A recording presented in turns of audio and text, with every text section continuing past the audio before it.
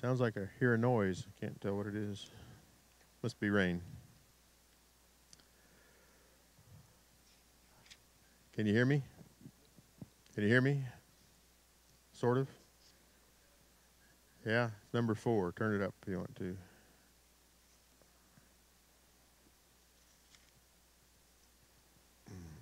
Hello, hello, hello. How about now? Can you hear me? Better? Turn the rain off, it works better. well, praise the Lord. Amen. So, First Thessalonians 5 23. It's a great verse. And 24. May God Himself, God Himself, not a substitute, not somebody else, may God Himself, the God of peace, sanctify you through and through.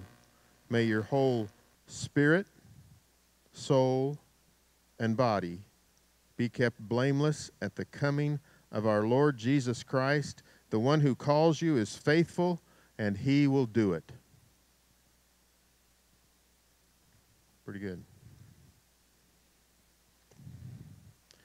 In Hebrews 4:12 it says the word of God is like a sharp sword penetrating to the dividing of soul and spirit.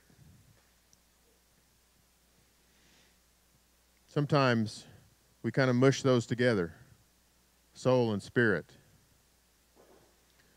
And neither of them can you see, so it's not too hard to mush them together. But they're different.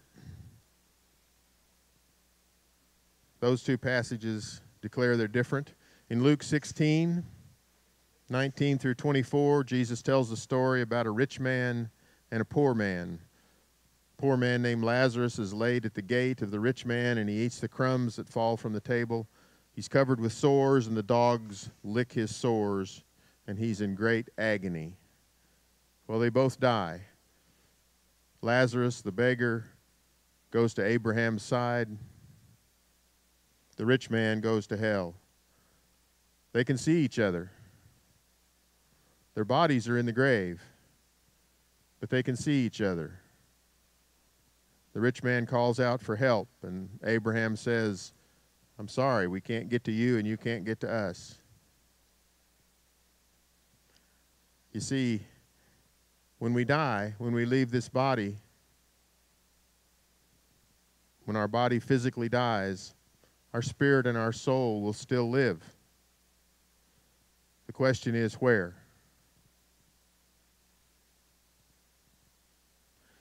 You see, there is eternal life and there is eternal death. Which will we choose? That's our choice. You know, this whole life we spend on earth, there's mainly one chore, and that's to decide if we're going to accept Jesus as our Lord and Savior, receive the forgiveness that He paid for, or reject it.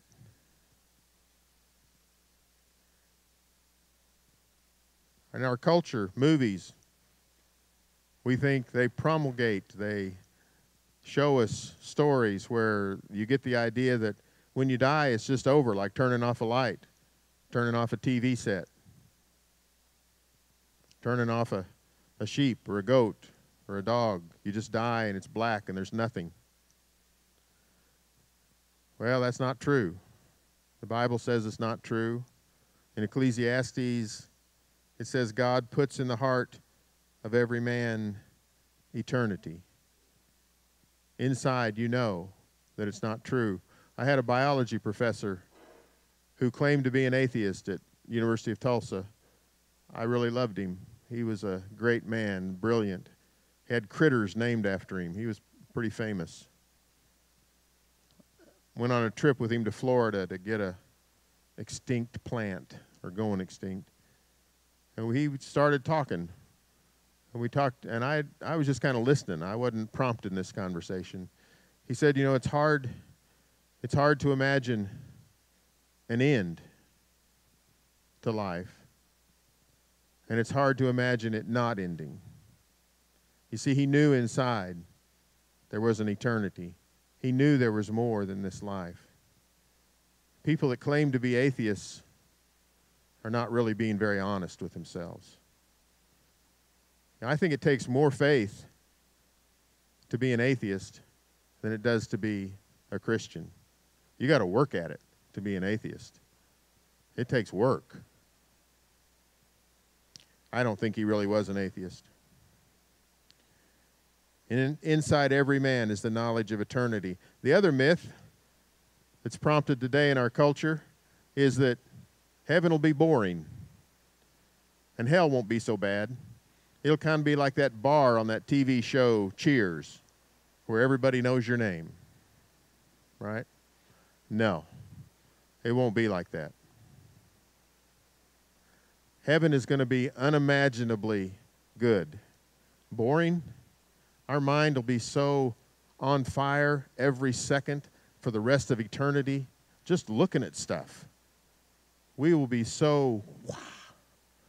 There will not be a boring second ever, ever, ever, and ever. But hell will be unimaginably bad. In Revelation, it's called the lake of fire. That doesn't sound very good. Jesus talked a lot about hell. He says, where their worm never dies. I don't even know what that stuff means, but it doesn't sound good. You see, for those who reject God, who reject what Jesus did for them, then they'll have to go to a place where the unbelievers go. and that's called the lake of fire. It's called the second death. It's called eternal death. It would be nice for those people if there was nothing, if it was just turned off. It's sort of wishful thinking on their part. You see, if we say we believe this Bible, then everybody we meet, is going one place or the other. And we need to be bold enough to ask them. If we really have that love we talk about, we need to ask them where they're going. In Matthew 10 28, it says, Don't be afraid of those who kill the body but cannot kill the soul, but be afraid of the one who can destroy both body and soul in hell. We have a choice. And everybody we know has a choice. And now is the time. Now is the day of salvation. And that's why we built this place. That's why we're here. I think just about every event we have, there are people that come in thinking they're just going to run a barrel race or rope a little. And some crazy old fat guy with a microphone is telling them about Jesus. Unexpectedly, they hear. And I can see on their faces that sometimes they've never heard the story. They didn't know that Jesus fed 5,000. They didn't know that he walked on water. They didn't know that he loves them. We need to be telling them. We've got the good news. We need to be telling people so that they can choose life. You know, a fellow named Nicodemus went to see Jesus. Nicodemus was a righteous man. In that day and time, of all the people living on earth, Nicodemus was right up there. He'd been in the top 10 righteous people. He wasn't, a, he wasn't particularly a hypocrite. He was intrigued by Jesus. He saw the miracles. He was drawn to him he was a little bit worried about what his other Pharisee buddies thought about it, and so he came at night, secret, to talk to Jesus because he needed to know what was going on. Said, We know you come from God because you couldn't do those things unless you were from God. He was kind of flattering Jesus a little bit. He wasn't perfect. but he was an honest, righteous man. But he wasn't righteous enough. He wasn't good enough. And Jesus cut through it and said, You can't enter the kingdom of God unless you're born again. Nicodemus didn't know what to say. What? What, what do you mean? I have to go back in my mother's womb, be born again? He didn't get it. Jesus said there's physical birth and there's spiritual birth. He talked about the spirit. He said it's like the wind.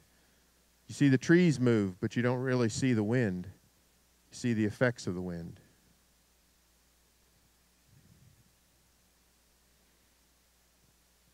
See, even Nicodemus needed a new heart.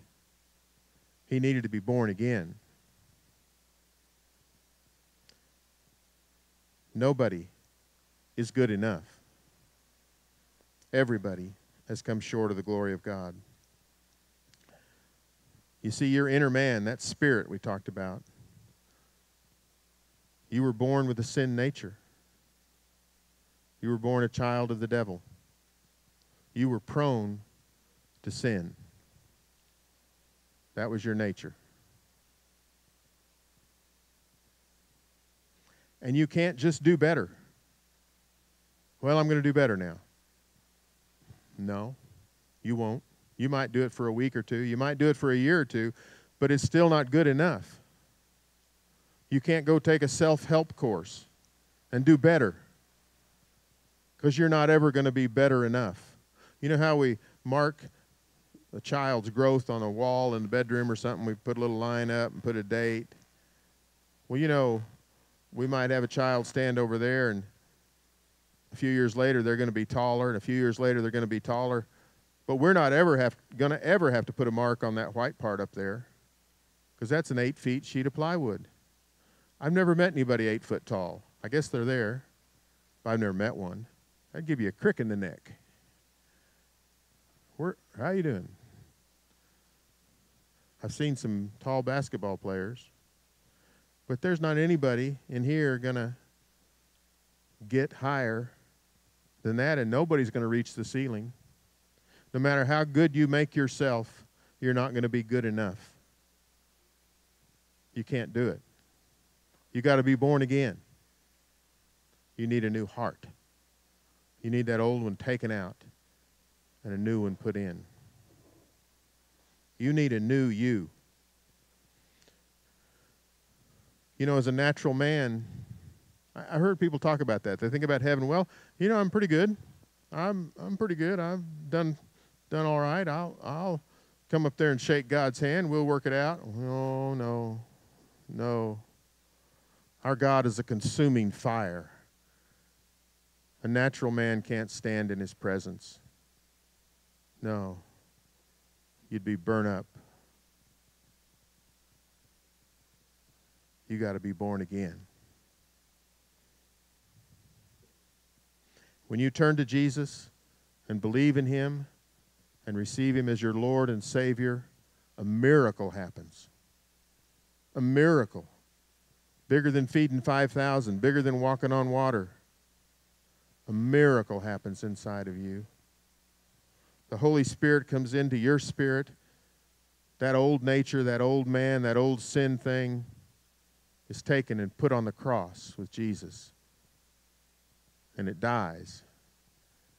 And you're born again, a new creature. You're reborn from the dead, a brand new creation.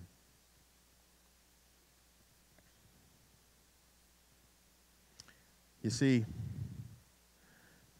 right then, when you're born again, you receive eternal life. Not later, not coming someday. Right then, when you're born again, you have eternal life. And the righteousness of God in Christ is in you. Not because you're any more righteous than you were a few seconds ago, but because God is in you.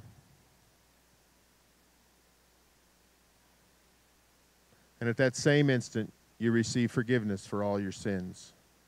They're already paid for, but you receive it. When you're born again, you're a new man and you have a new nature. That old nature was prone to sin. Your new nature is prone to righteousness, it's prone to obedience. You know, that old nature, that old sin nature, might occasionally do something good, but it doesn't make that person good. He's still dead in his trespasses and sins. Sometimes people do good things, but inside they're still selfish.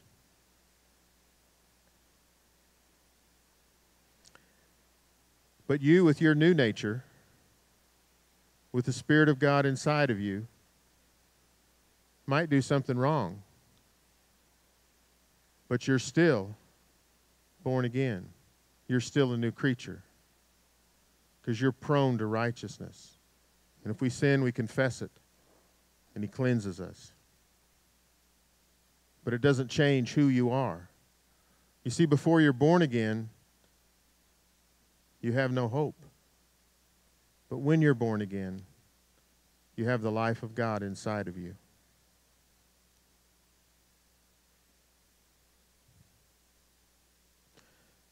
And after you're born again, you still have two more parts of you to deal with. You got your soul, which contains your mind, your will, your emotions, your thinking part. All those things are involved with thinking, like a computer. Paul says you got to renew your mind. Don't conform any longer to the pattern of this world, but be transformed by the renewing of your mind so that you can know what the good and pleasing and perfect will of God is.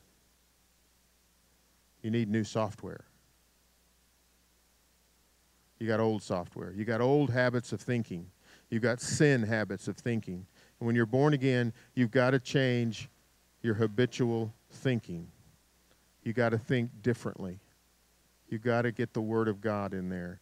1 Peter 2 2, it says, like newborn babes, desire the sincere milk of the world, word, sincere milk of the word that you can grow up into salvation. You see, when you read the epistles, when you read Romans and 1st and 2nd Corinthians and 1st and 2nd Peter and James, you've got to know who they're talking about. What part of you they're talking about. Or it gets very confusing because Paul talks about all three parts. And you've got to know what he's talking about.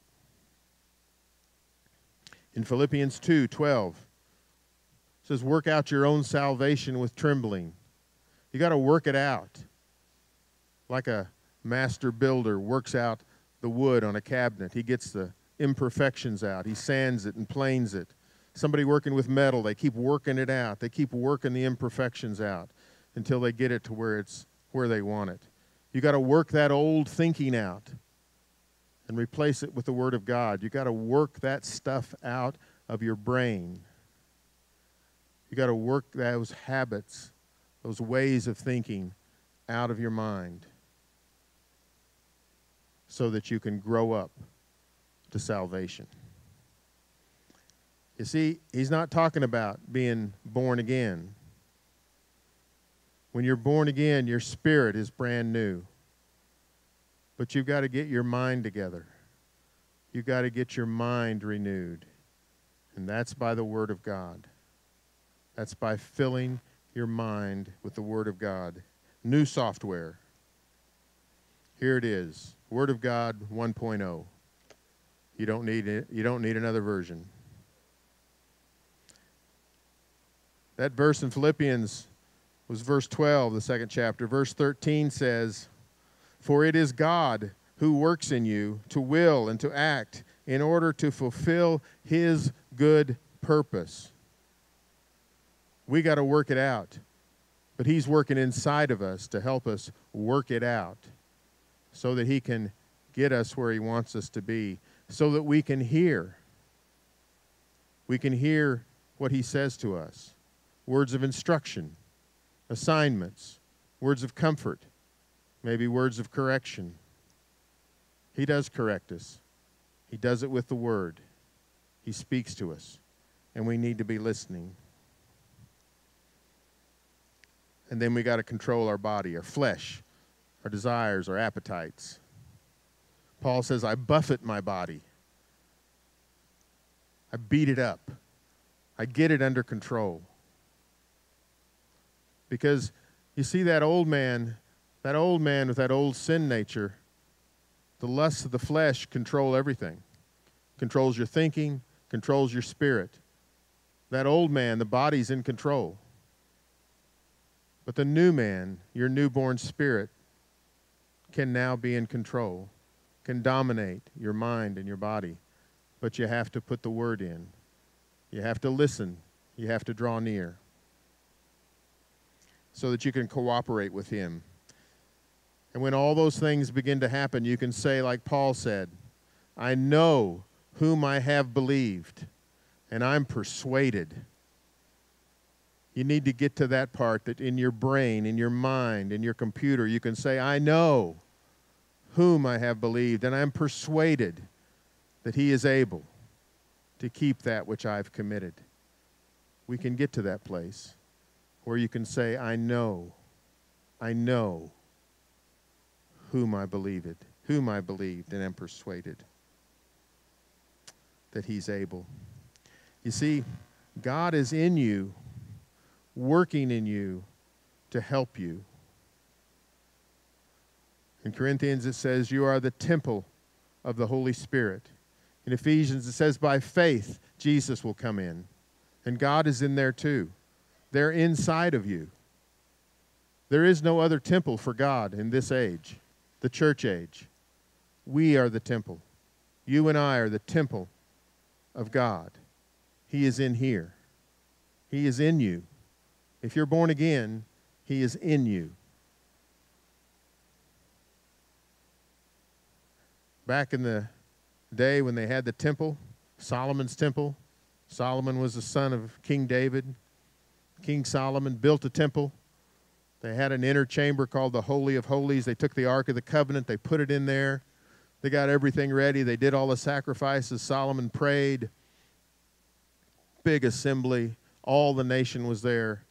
Solomon prayed and asked God to come and inhabit his temple. Fire came down from heaven, consumed the sacrifices, and a cloud of glory went into the temple, so thick that the priests couldn't stay in there. They all came out and nobody could go in. It was the glory of God, the presence of God filled the temple. There's a word Shekinah that I've heard people use Shekinah glory. Shekinah is not even in the Bible, it's not a word in the Bible. It's rabbinic literature, it's rabbis talking about the Old Testament. But it means the place where the presence of God is, the dwelling place, the sitting place, where God sits, where God dwells. Well, he filled that temple. It became the Shekinah, where he sat. And you know what?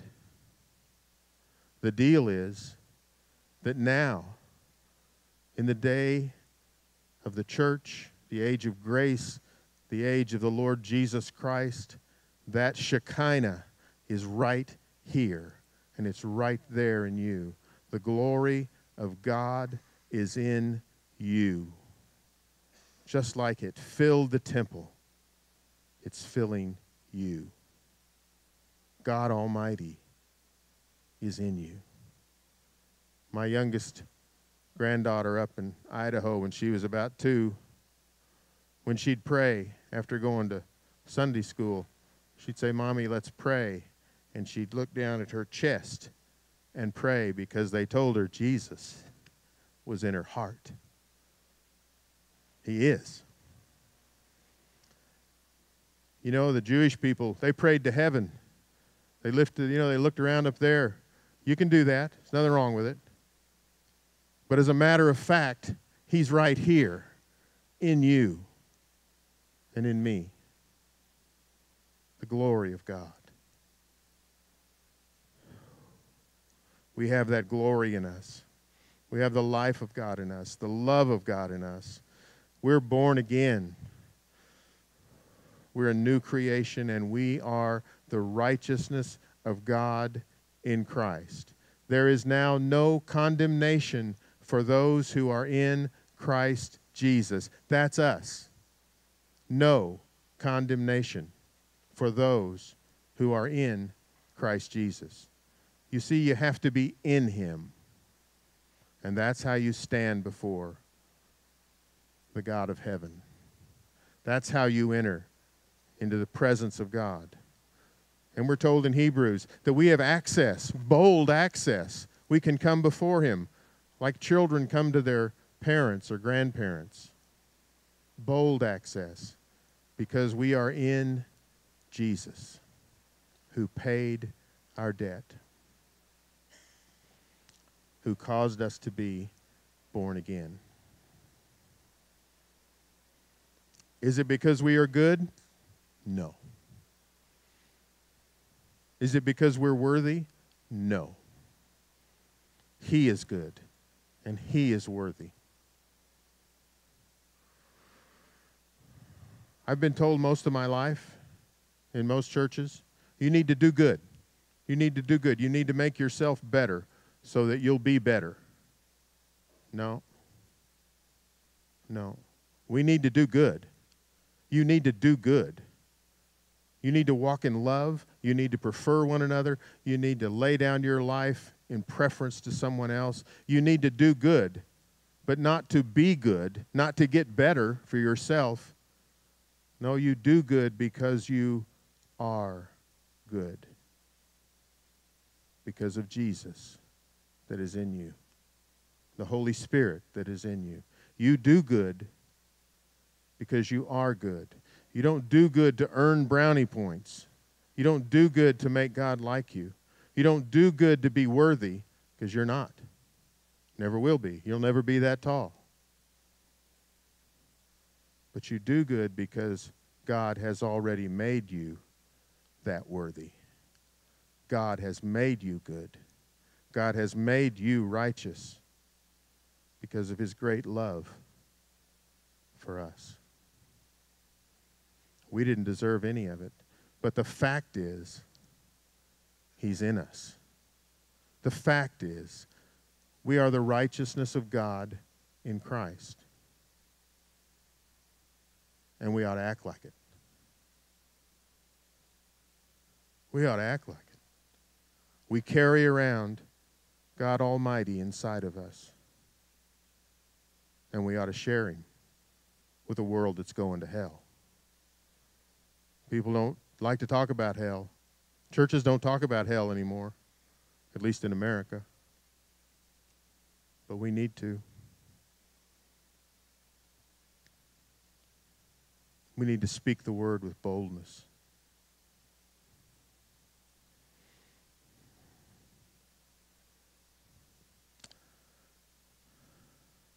Father, I thank you for your great mercy that while we were dead in our trespasses and sins, you made us alive with Christ Jesus. For it is by grace we have been saved. You have set us together with him in heavenly places. That's who we are and where we are.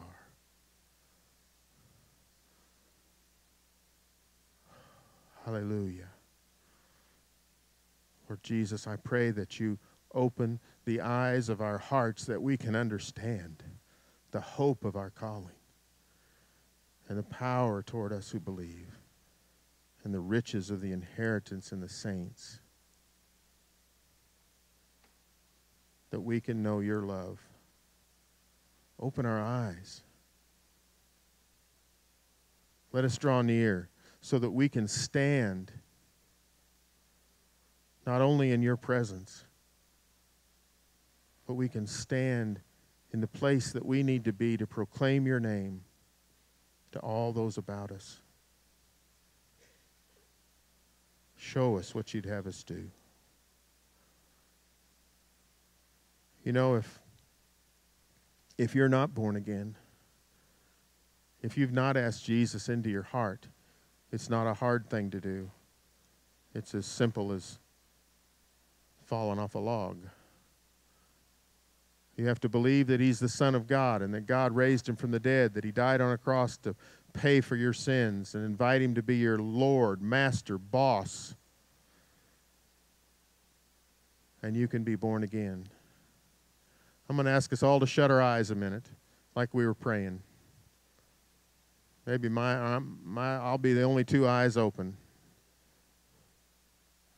And if you want to ask Jesus in your heart, if you've never done that, if today's the day that you've decided that you need Jesus to be your Lord, that you want to be born again so that you can have eternal life, I want you to raise your hand so that I can pray for you. Just stick it up.